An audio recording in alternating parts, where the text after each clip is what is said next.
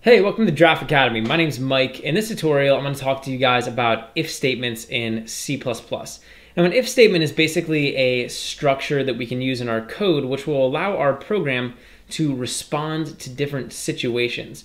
So when one situation occurs, we can do one thing, and when another situation occurs, we can do another thing. Essentially, we're able to check different conditions, and when those conditions are true, we can do certain things, and when those conditions are false, we can do other things.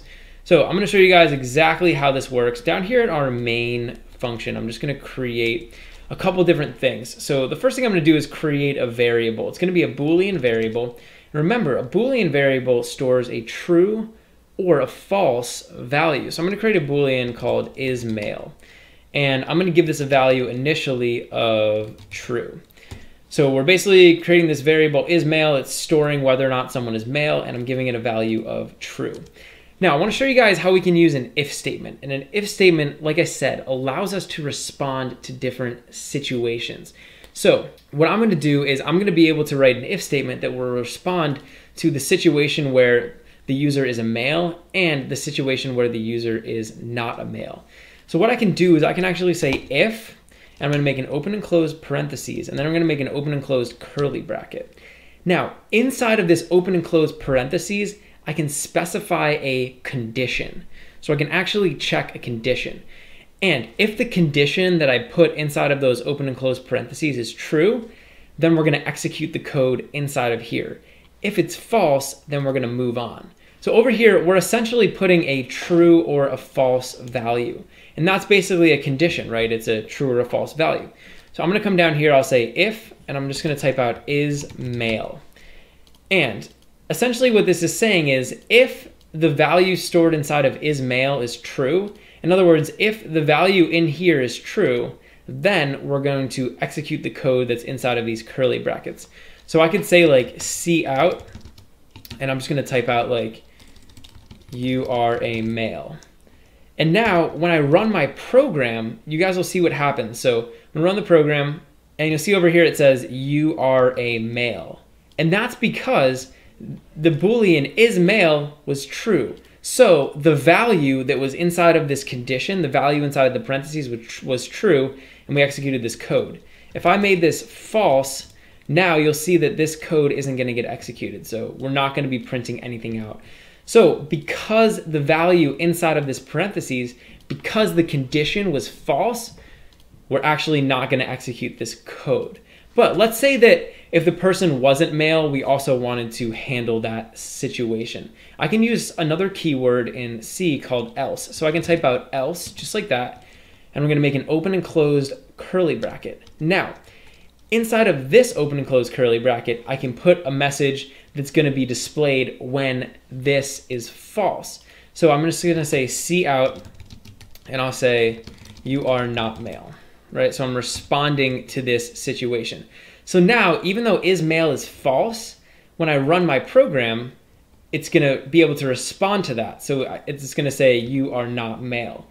Essentially, what's happening here is my program is now smart enough to respond to this variable. So if this variable is male is true, it can handle that. If it's not true, it can also handle that. And so basically, inside of these parentheses, I specified a condition. In our case, it was a true or false value that was stored inside of this is male variable. So that's kind of cool. Now, let's up the ante a little bit. I want to show you guys how we can make these more complex. This is a very simple example, but let's say I added in another Boolean. So I had another Boolean called is tall, and I'm going to set this equal to true. And actually, I'm going to set this equal to true as well. So now, in addition to is male, I also have is tall. So let's say that we wanted to check to see if the person was both male and if they were tall. So down here, what I can do is I can use something called the AND operator. I could say is male and is tall. And basically what's happening now is C++ is saying if the person is male and the person is tall, then we're going to print this out. So I'll just say you are a tall male. So this code, this line of code down here and any of the code inside of these open and closed curly brackets is only going to get executed when is male is true and is tall is true. Essentially, this AND operator is allowing me to check two separate conditions. And both of them have to be true in order for this line to get printed out. So you'll see is male is true and is tall is also true. So now when I run my program, you'll see that it says you are a tall male. Here's the thing though, if I set one of these to false, so if I set is tall to false, this whole condition is no longer going to be true. So then we're going to go down here to this else block. And this should probably say like you are not male or not tall, but we'll just leave it like that just for demonstration purposes. All right, so now it says you are not male, right? And obviously, like I said, that message should be different. But the point is that this condition was false because one of these values up here was false. And that's how we can use this AND operator. There's another operator called the OR operator, and that is similar to AND, except only one of these conditions has to be true in order for the whole thing to be true. So even though is tall is set to false and is male is set to true, this is still going to execute. So it's still going to say you are a tall male because one of them is true. So let's go ahead and run this program now you'll see it says you are a tall male. So it executed the code that was inside this initial if block. And that's because one of them was true. If I set both of these to false now, because we're using the or, now it's gonna go down to you are not male. So you'll see down here it says you are not male. So that's basically how we can use and and how we can use or. With the AND operator, we can put two conditions in and both of them have to be true for the whole thing to be true. With the OR operator, only one of the conditions has to be true for the whole thing to be true. And they can both be true as well, and it'll be true. But if both of them are false, then it's to be false. All right, let's make this even more complex though. So I want to show you guys another thing we can do. I'm to bring this back to AND. So I'm going to say is male and is tall. But let's say that we wanted to check to see if they were male and they weren't tall. So if they were like a short male. Well, I can actually check another condition. So I can use another keyword in C++. It's called else if. And I'm going to make an open and close parentheses and an open and close curly bracket. And I'm just going to bring this down to a new line. So else if is basically saying if this condition up here is false, then we're going to come down here and we're going to execute this condition. So if this condition up here is false, instead of just going to else, we're going to come over here and we're going to check another separate condition. So over here, I want to check to see if they're male and they're not tall. So they're not tall. So I can say is male just like before. So I'm saying else if is male and is tall. But remember, I want to check to see if they're not tall. And here I want to introduce you guys to another operator. It's called the negation operator. It's basically an exclamation point. And whenever you put this exclamation point before a condition like is tall, it's going to actually negate that entire condition.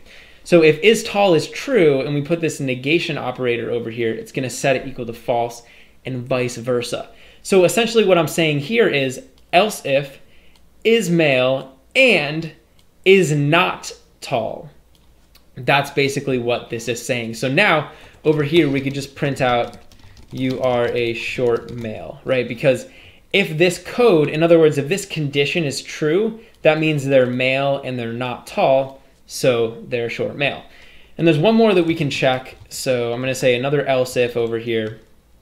And there's one more possible scenario with these two variables up here. That's when they're tall, but they're not male. So I could say not is male and is tall. So this would be like, you know, it could be like a tall female or something, right? So down here, I'm to go ahead and say cout, and I'll just say you are tall but not male, right?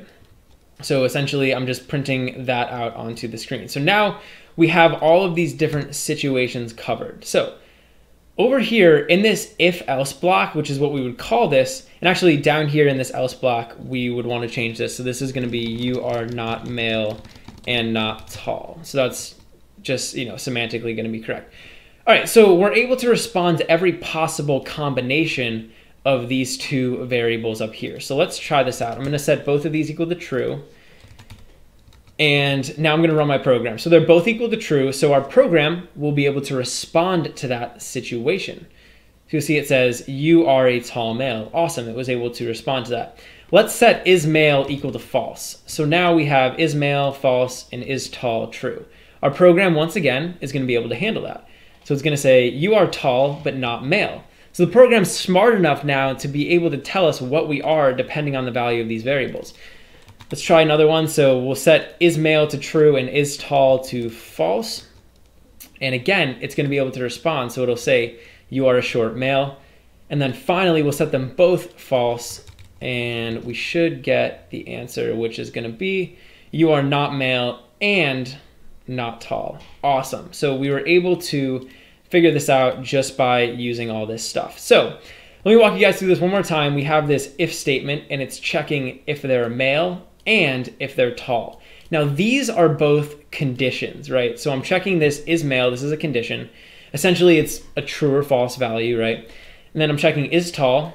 And if both of these are true, then we'll execute the code inside of here. If this is false, then we'll come down here and we'll check this other condition. And we're gonna keep doing that until we get down here and we figure out, okay, they're not male and they're not tall. So that's the basics of if statements. And really, this is just scratching the surface of if statements. I talked to you guys about a lot of the different things we can do, but there's one more thing I want to talk to you guys about in the next tutorial, which are called comparisons. And down here, we're using these Boolean variables in order to get our conditions, right? So I'm using these, and these are either going to be true or false, right? But we can also use something called comparisons. And with comparisons, we can check to see if different values relate to each other in different ways. So I could check to see if like a number is greater than another number or something. And we can use those comparisons as our conditions. And that's gonna be pretty cool. So stick around for the next tutorial and I'll talk to you guys more about these if statements. Hey, thanks for watching. If you enjoyed the video, please leave a like and subscribe to Giraffe Academy to be the first to know when we release new content. Also, we're always looking to improve, so if you have any constructive criticism or questions or anything, leave a comment below. Finally, if you're enjoying Giraffe Academy and you want to help us grow, head over to giraffeacademy.com forward slash contribute and invest in our future.